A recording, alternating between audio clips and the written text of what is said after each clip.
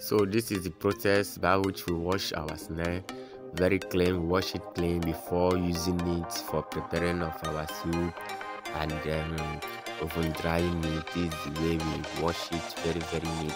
So we wash for customers who doesn't have the time to clean it. We clean it for them, package it and send them back to them.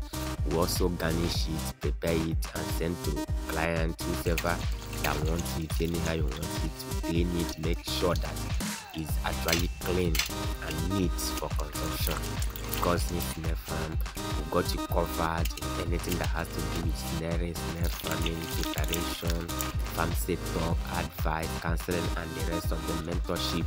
We undertake all these services.